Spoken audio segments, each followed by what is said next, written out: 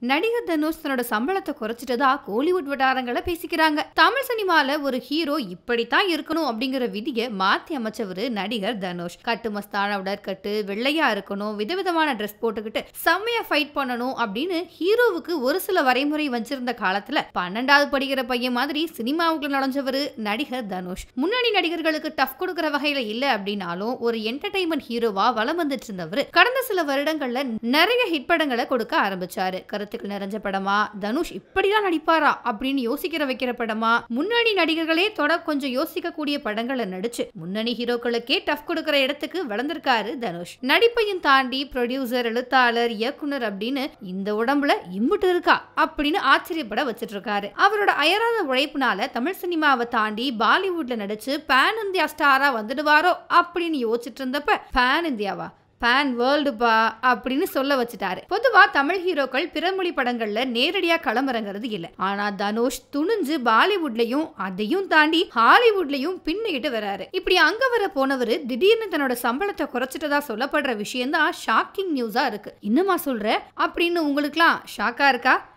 எங்களுக்கும் அப்படிதான் இருக்கு. இந்த காலகட்டத்தில் ஒரு ரெண்டு படம் சூப்பர் ஹிட் ஆயிடுச்சுன்னா போதும் ஹீரோவோட சம்பளம் பல மடங்கு உயர்ந்துருது. ஹீரோவை தாண்டி வில்லனா நடிக்கிறதுக்கே ரெண்டு மடங்கு சம்பளம் உயர்த்தி கேட்குறாங்க ஒரு சில ஹீரோஸ் அப்படி இருக்கும்போது தனுஷ் ஏன் சம்பளத்தை குறைச்சிட்டாரு அப்படின்னு அலசி ஆராய்ஞ்சு பார்த்தா என்னதான் தனுஷ் ஹாலிவுட் வர போயிட்டாலும் கூட தமிழ்ல கர்ணன் படத்துக்கு அப்புறமா வந்த எந்த படமும் சொல்றபடியா போகல. ஓடிடியில் ரிலீஸ் ஆன ஜெகமே தந்திரம் மாறன் போன்ற படங்கள் எல்லாமே சரியா போகல. விமர்சன ரீதியா ரொம்பவே அடி வாங்கி இருந்துச்சு தனுஷோட இந்த படங்கள்.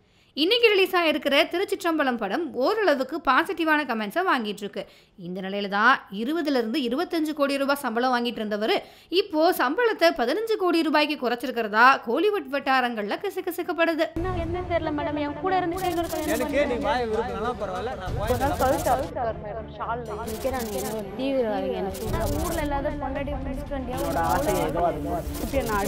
தப்பா நடந்துக்கிறாங்க என்ன தண்ணி அடிக்கிறது என்ன எல்லாம் அவங்க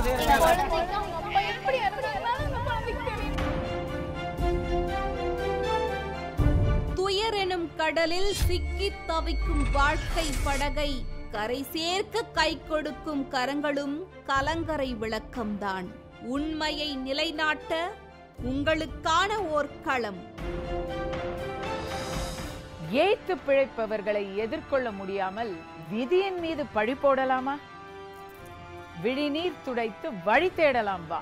உங்களின் கண்ணீரை துடைக்க உங்களுக்காக நான்.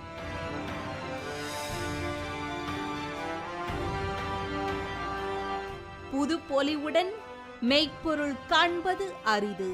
Season two